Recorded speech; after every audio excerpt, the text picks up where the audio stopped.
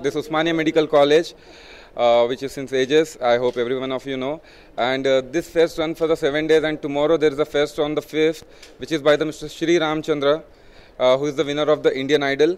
So I'm expecting thousands of the thousands crowd tomorrow, which uh, Mr. Sri Ramachandra will rock with his voice. I'm in this industry since three years. A model who won the Mr. India 2010 and then turned as an actor.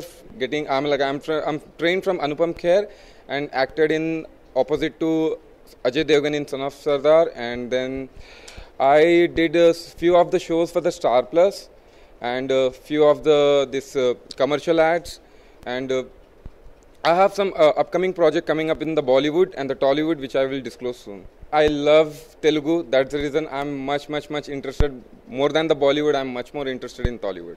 We don't have a godfather because we don't have a father who is in the, this industry. That's the reason I have chosen as a model. I won that. Then I got trained from Anupam Kher, and then I started doing uh, modeling, and then I got a project. That's the reason Bollywood recognized me, and that's the reason I hope I'm getting chances. Even though I got an offer from the uh, Dhawan films, even though I got an offer from the uh, this uh, Yashraj films, so I will disclose it once the uh, script and everything will be done because I don't like speaking before. So once everything will be done and everything will be sorted, I will surely discuss in the media. Thank you.